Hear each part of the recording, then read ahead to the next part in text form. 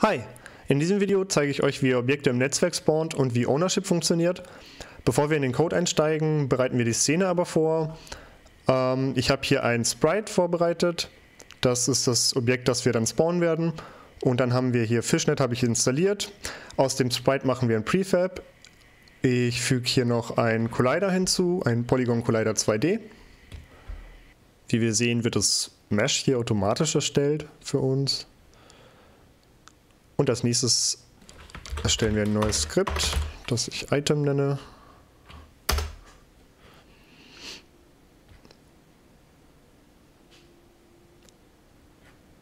Und als letztes fügen wir hier das Network Transform hinzu von Fishnet. Damit wird das Item, also die Transform-Komponente dieses Items, ähm, automatisch im Netzwerk synchronisiert, ohne dass wir hier noch viel zusätzlich schreiben müssen oder so. Das passiert jetzt alles vollautomatisch. Wir können hier noch die Rotation und das Skalierung deaktivieren, weil wir das nicht brauchen, sondern nur die Position. Und ansonsten passiert die Bewegung kleinseitig und nicht serverseitig. Ja, also wir lassen hier das, die Komponente im Standard und speichern uns das als Prefab ab. Ähm, das benenne ich kurz um.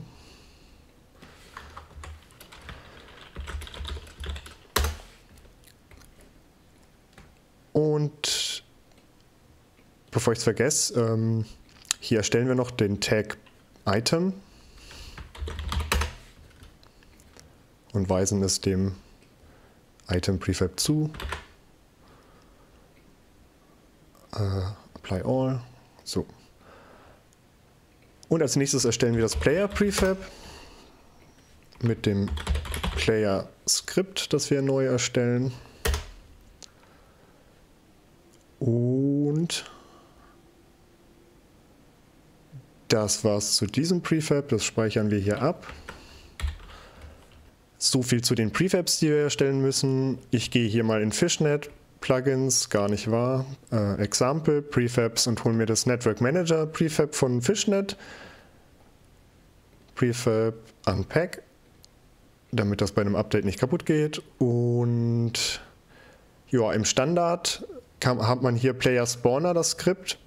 Und hier ziehen wir unseren Player, äh, unser Player Prefab rein, das wir gerade eben erstellt haben. Okay, das können wir scheinbar noch nicht machen. Das liegt daran, dass wir am Player Prefab vergessen haben, Network Object noch hinzuzufügen. Und jetzt müssen wir das reinziehen können, genau. Als letztes fehlt hier noch das äh, zwei Skripts, die wir noch machen, anlegen, meine ich.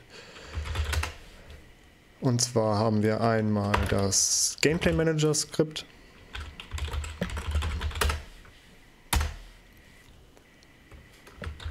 Und, na,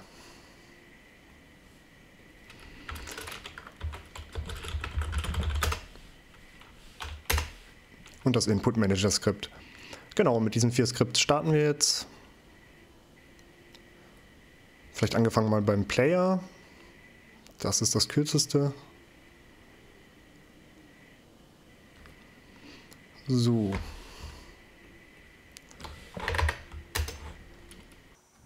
Ich benutze hier den OnStart Server Callback, denn für jeden Client wird ja automatisch ein Player Prefab gespawnt und damit auch ein Objekt dieser Player-Klasse.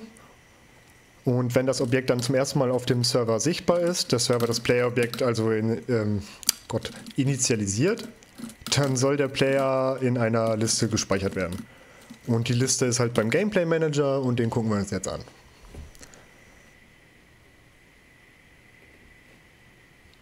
So. Hier fangen wir bei 0 an. Der Gameplay Manager ist auch ein Network Behavior.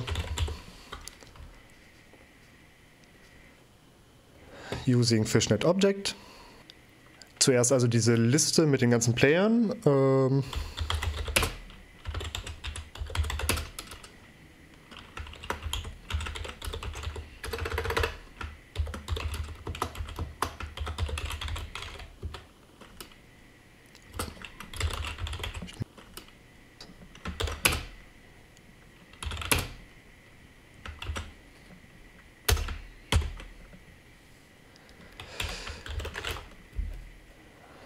Synclist.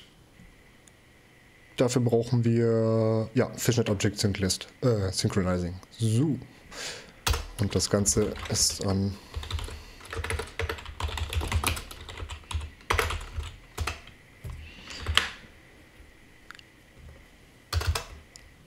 So, hiermit wird das Ganze dann synchronisiert. Also wenn ihr ähm, ein Objekt habt oder hier diese Sync-List, dann braucht ihr Sync-Object, ansonsten könnt ihr auch Sync wahrnehmen. Ne? Genau, und dann haben wir vorher vielleicht noch Public ähm, Gameplay.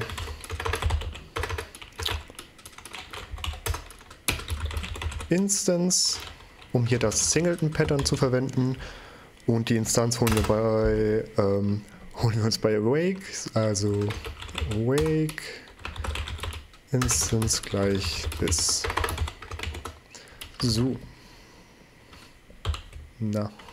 Und wofür die Playerliste gebraucht wird, zeige ich euch jetzt. Und zwar schreiben wir hier private in der Update-Funktion. Ähm, schauen wir, ob mindestens zwei Spieler im Spiel sind, also gejoint sind. Und wenn dies so ist, dann soll dann eben dieses Item gespawnt werden. Also mindestens zwei Spieler drin, dann spawne Item.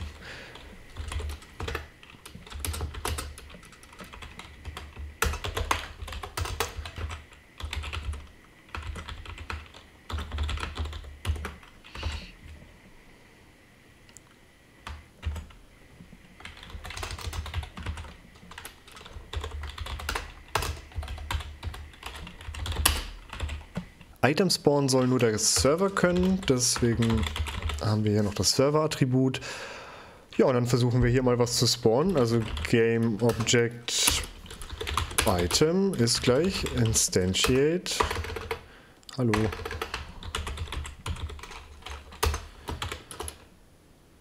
Dann brauchen wir ein Item. Ich mache mal Test-Item. Das übergeben wir gleich über den ähm, im Inspector.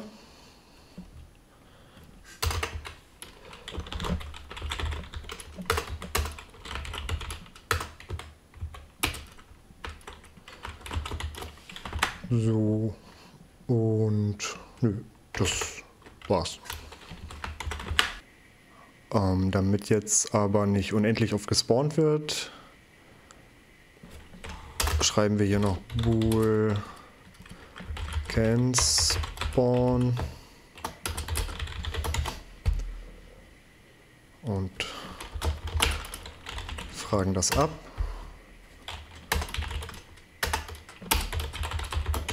Und nachdem das erste Mal gespawnt wurde, setzen wir keinen Spawn auf False.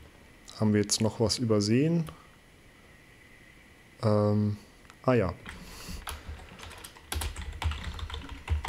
Static Gameplay Manager soll das natürlich heißen. Jo.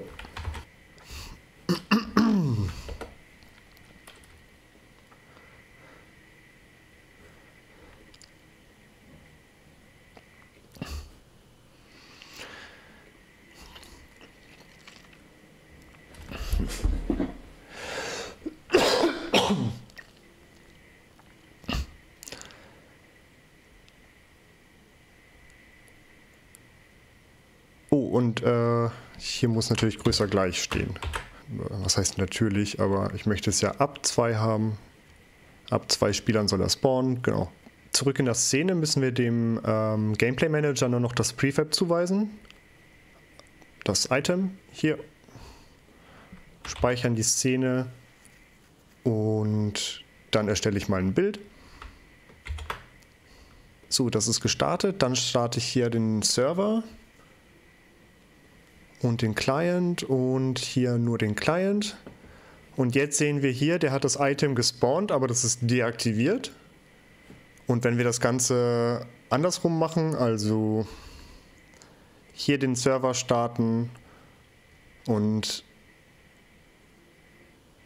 ähm, Moment und den Client und hier dann auch noch hinzukommen, dann hat, äh, sehen wir, der, der Client, äh, bei dem Client haben wir kein Item, für den wurde das scheinbar nicht gespawnt. Und ja, das heißt, so funktioniert das noch nicht. Denn was wir jetzt brauchen, ist noch eine weitere Zeile Code. Immer wenn wir ein Objekt im Netzwerk spawnen, müssen wir Server Manager Spawn aufrufen.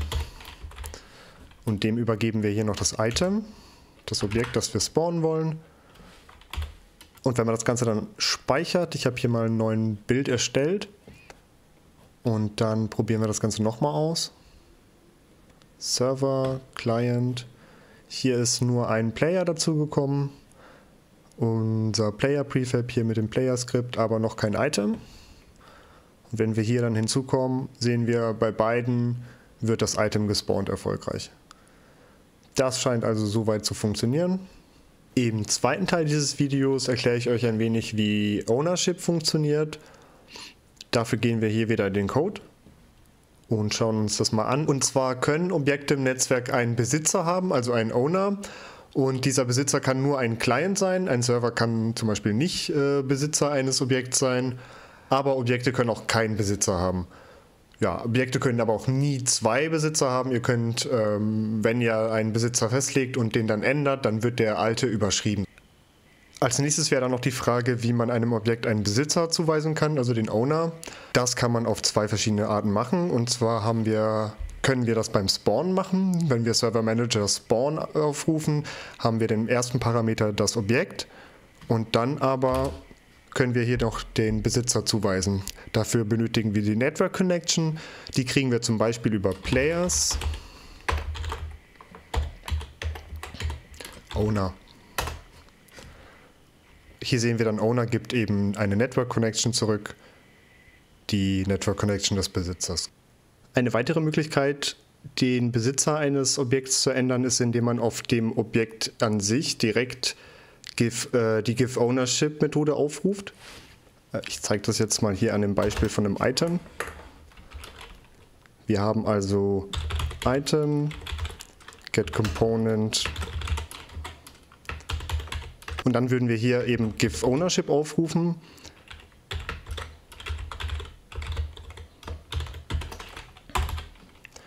Und einen Besitzer dann übergeben, in dem Fall der erste Spieler.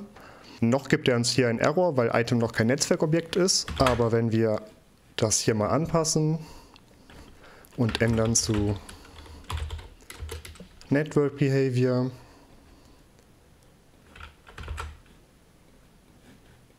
dann sollte der verschwinden. So. Also so könnte man das dann auch tun. Ich habe hier das Item und äh, gebe diesem Netzwerkobjekt einen Besitzer. Oder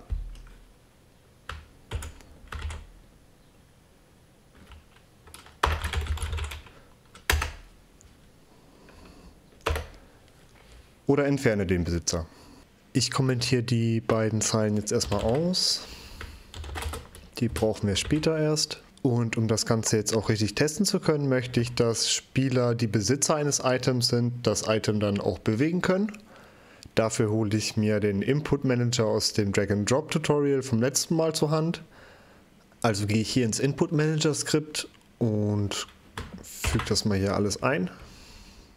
Das ist wie gesagt aus dem alten Tutorial. Und ja, hier ändere ich mal ein paar Sachen. Und zwar als allererstes brauchen wir Drag Speed nicht. Und Transform to Drag benenne ich mal um in Current Dragged Item.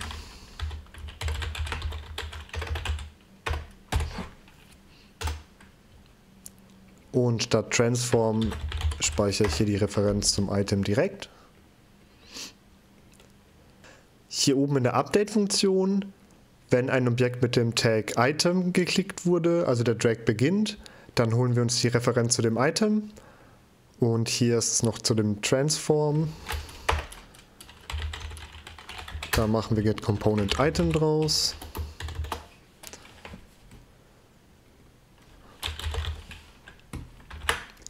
Und hier unten, hier in dem Bereich, das brauchen wir hier erstmal nicht.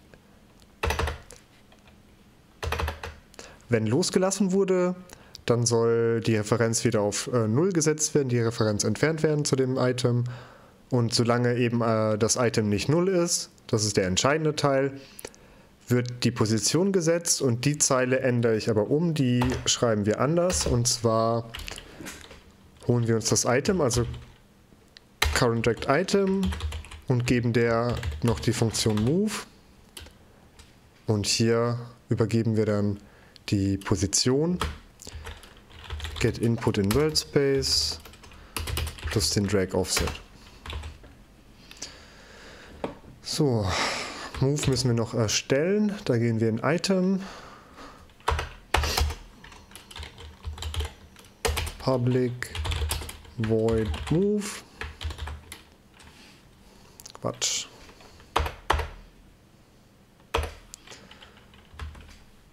Und der braucht einen Vektor 3 Position.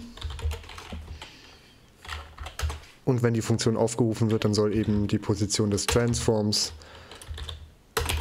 auf die Position, auf die neue Position gesetzt werden. Ja. Ah, und bevor wir es vergessen, das soll ja nur ein Client ausführen können und nur Clients, die auch Besitzer des Items sind.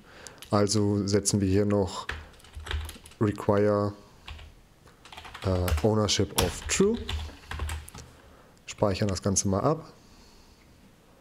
Schauen, ob hier noch irgendwelche Fehler auftreten. Und wenn wir jetzt ein Bild erstellen, ich habe jetzt mal drei, dreimal äh, das Spiel gestartet, dann starte ich hier den Server und zweimal den Client. Das Item wird gespawnt und wir sehen hier beim ersten Client kann ich den bewegen und das wird auch synchronisiert. Und der zweite Client kann das aber nicht, weil er eben nicht Besitzer dieses Items ist. Ja. Das scheint alles soweit zu funktionieren. Und wenn wir jetzt aber ein Objekt haben wollen, das eben alle Spieler benutzen können oder bewegen können, ein Item zum Beispiel, dann müssen wir dem Item vorübergehend einen Besitzer geben und das machen wir ja eben mit diesem Give Ownership. Dazu schreibe ich hier die Methode Get Item Ownership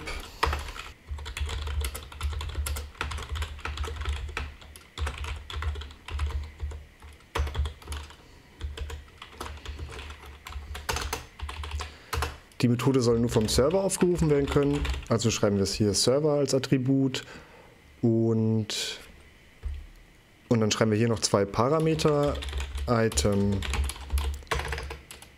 und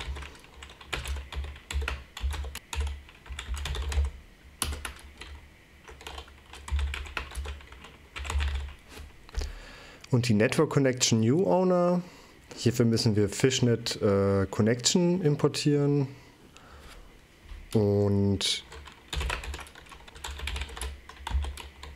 und wenn das Item nicht bereits dem New Owner gehört,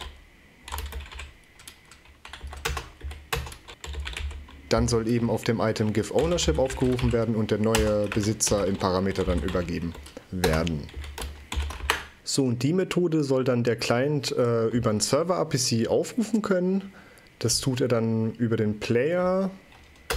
Aber vorher muss der Client wissen, welches Player-Objekt, also welche Instanz des Players überhaupt ihm gehört. Das machen wir mit public static player instance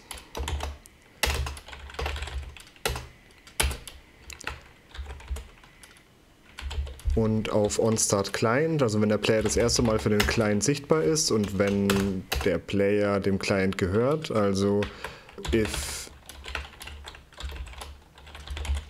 wenn es nicht der Besitzer ist, dann return. Ansonsten ähm, instance gleich bis. So, damit der Client auch hier die Methode im Gameplay Manager, die Change Item Ownership Methode aufrufen kann, die ja nur der Server kann, äh, benötigen wir einen Server APC. Steht im Tag. So. Und der hat aber require ähm, Ownership gleich True. Also nur das Player-Objekt, das dem jeweiligen Client gehört, kann den Server APC ausführen. Und den Server APC nenne ich dann einfach Public Void Get Item Ownership. Hier übergeben wir nur das Item im Parameter.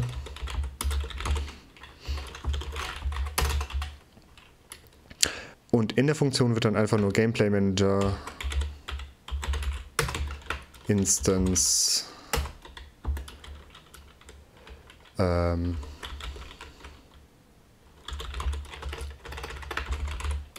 Change Item Ownership aufgerufen, das Item übergeben und der Besitzer des Players. Und als allerletztes rufen wir dann hier, wenn wir das Item geholt haben, auf den Klick der Client, ruft er dann eben Player Instance Get Item Ownership uh, Current Tracked Item und das war's. Das Ganze testen wir jetzt einfach mal. Ich habe also ein neues Bild erstellt, starte hier den Server. Ich habe insgesamt dreimal gestartet, zweimal den Client. Das wird gestartet, gespawnt wird das Item. Ich kann das hier bewegen, aber ich kann das jetzt auch hier bewegen. Das heißt, das Ownership ähm, funktioniert. Ich kann den Besitz ändern. Ja, und so könnt ihr also Objekte im Netzwerk haben, die von mehreren Spielern dann benutzt werden können zum Beispiel, wenn dann ein Spieler irgendwie ein Geschütz bedienen will, dann ist das Geschütz an sich, hat es erstmal keinen Besitzer. Und wenn ein Spieler dann das Geschütz bemannt, dann ist er eben vorübergehend Besitzer des Geschützes und kann das dann eben bedienen. Ja, soviel zum Thema Spawn im Netzwerk und wie Ownership funktioniert. Im nächsten Video werden wir dann sehen, wie wir das Ganze auch noch rundenbasiert hinkriegen, also dass unterschiedliche Player nacheinander dran sind. Momentan haben wir da noch gar keine Logik drin. Und wenn wir das dann alles gepackt haben, dann sieht das Ganze schon anders aus. Dann kommen wir dem Ziel, ein Spiel irgendwie zu programmieren, ein wenig näher.